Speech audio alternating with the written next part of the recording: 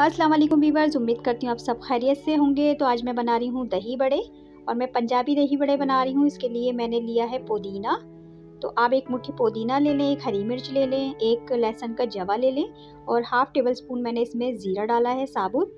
ये मैं नमक डाल रही हूँ तो ये मैं पिंक सॉल्ट डाल रही हूँ। आपके पास जो नमक है, आप डाल लें। उसके बाद हमने उसमें थोड़ा सा पानी डाल के उसकी चटनी पीस ली। ये एक प्याज है बड़ी साइज़ की, आलू है, हरा धनिया है और एक हरी मिर्च है। ये मेरे पास दही है। तो दही जो है, वो अच्छे से हम बीट कर लेंगे।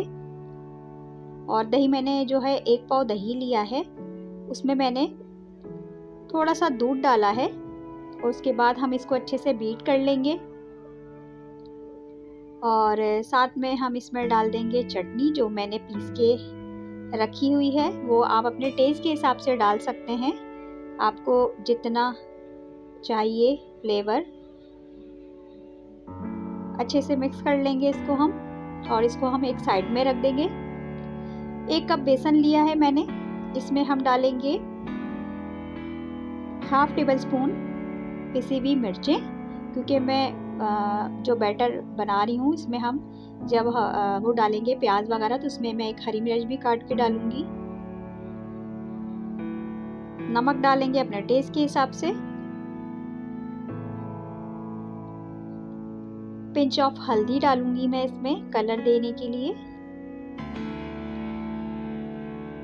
और एक चुटकी जो है हम इसमें डालेंगे मीठा सोडा।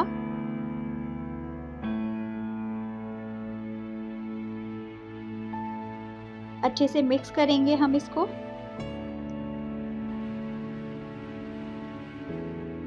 और उसके बाद हम इसमें थोड़ा थोड़ा पानी डाल के इसका हमें एक बैटर बनाना है और बैटर हमें ज़्यादा पतला नहीं करना है।